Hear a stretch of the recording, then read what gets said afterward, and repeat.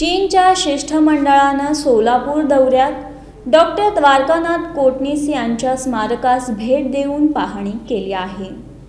Doctor Dwarkanath Kotnis यांनी चीनमध्ये अडचणीच्या काळात येऊन आरोग्यसेवा दिली. दुसऱ्या महायुद्धात जपानने चीनवर आक्रमण केलेलं असताना डॉक्टर कोटणीस चीनला गेले होते. तेथे त्यांनी वैद्यकीय मोहिमेत भाग घेऊन चार वर्ष रुग्णसेवा केली. रुग्णसेवा करत असताना त्यांनी प्राणाची आहुती दिली. त्यांचं कार्य अतुलनीय आहे. हे चीन कधीच विसरणार नाही. भविष्यासाठी भारत चीन मैत्रीचे संबंध अधिक दृढ राहतील अशी ग्वाही चीनचे कौन्सिल जनरल कॉंग जियान हुआ यांनी सोलापूर भेटी प्रसंगी दिली आहे. बुधवारी दुपारी महापालिकेच्या इंद्रभवन इमारतीला भेट दिली.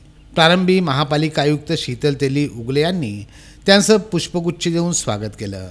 दरम्यान यावेळी विविध विषयांवर चर्चाही झाली. डॉक्टर कोटणीस यांनी वैद्यकीय क्षेत्रात चीनच्या युद्धामध्ये मोठे योगदान दिलंय त्यांच्या स्मरणात चीननं सोलापूर शहरातील महापालिकेचा एखादा दवाखाना किंवा प्रसूतीगृह दत्तक घ्यावं असा प्रस्ताव पालिकेचे आयुक्त शीतल तेली उगले यांनी यावेळी मांडला.